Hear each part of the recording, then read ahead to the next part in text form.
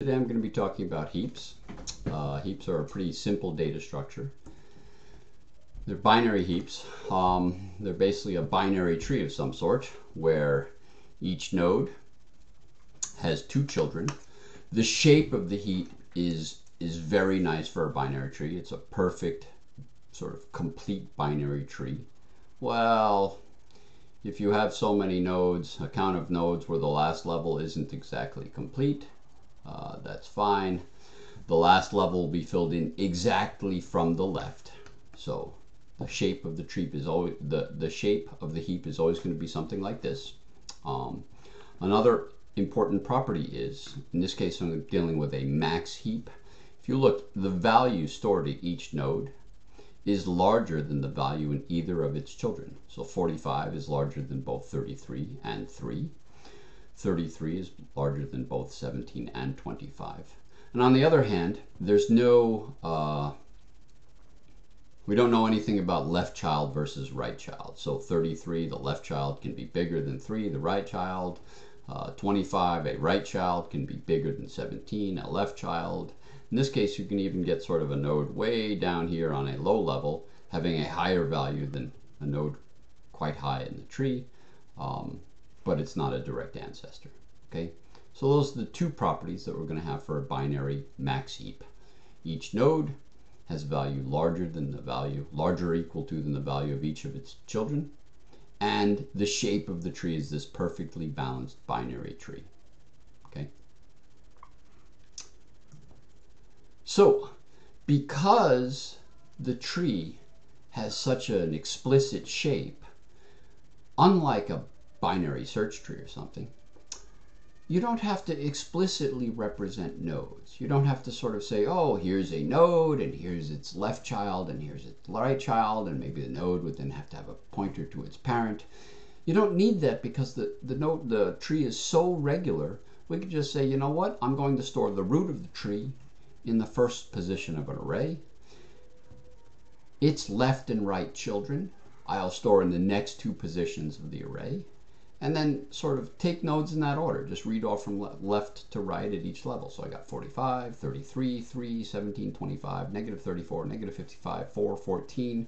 I just stick those into an array and I know, hey, 3. What's 3's children?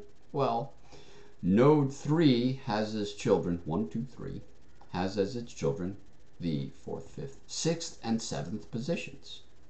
Okay? And node 3's parent is in, in the first position of the array. Okay?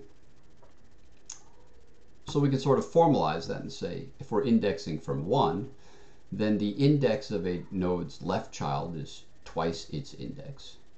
If the index of its right child is 1 more than that, and the index of its parent is the index div 2. Of course, you can index from 0, which just sort of knocks everything over by 1. That's fine.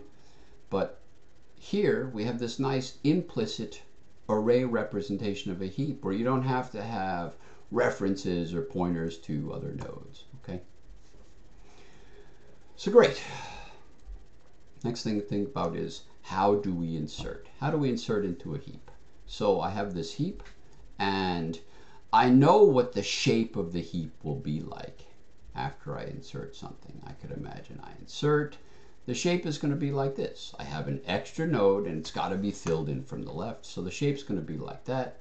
And I fill in something, I fill in whatever it is that I'm inserting. So in this case, if I'm inserting a 22, there you go. I insert it and it's there. And this 22 is the left child of the 25 node, even though it's hard to tell that. Uh, okay.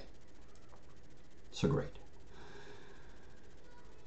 The other thing that we have to worry about, of course, is each node has to have as a parent can can have a value no larger than its parent, right? A parent has a value at least as large as its children.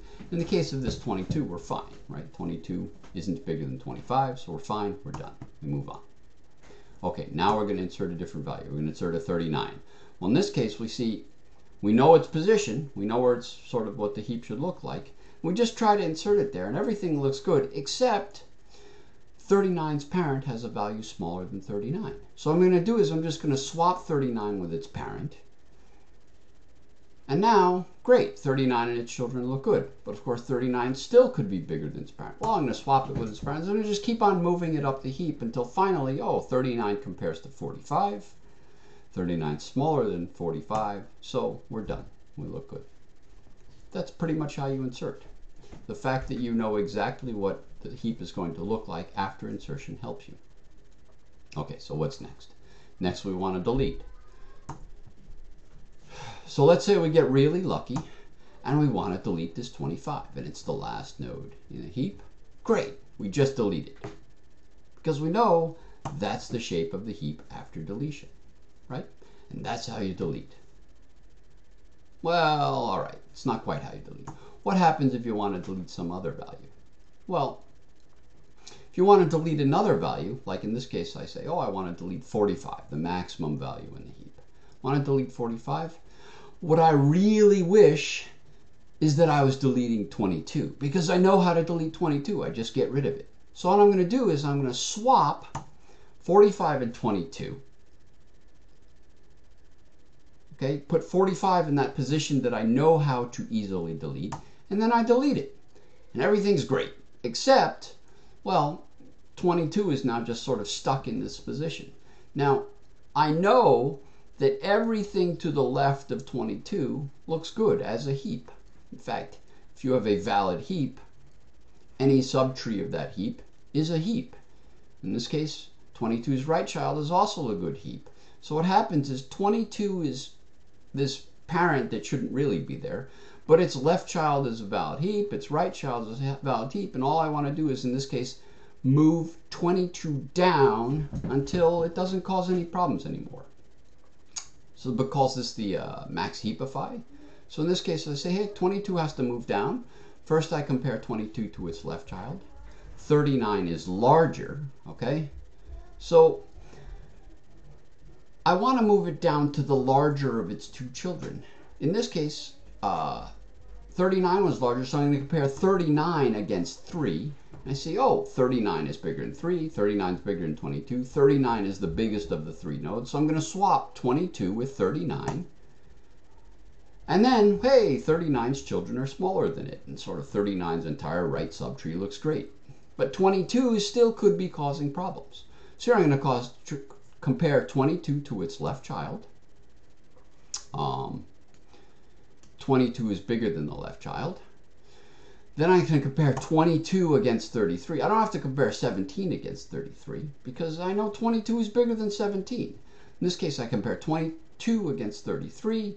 33 is bigger. They swap. And now 22 is where it's supposed to be. There's nowhere further for it to go down. In this case, it's reached a leaf, so it stops. Okay, one more deletion example to sort of show you what can happen, uh, the other thing that can happen. Suppose that 55, this negative 55 value in 14, negative 55 is what you want to delete. of course, you wish that you were deleting 14 because that's so easy to delete. So you swap them. Then you delete your negative 55 value. And now, you see, before I had this value that had to move down. In this case, I have a value that actually has to move up. 14 has a value larger than its parent's value. That's not legal.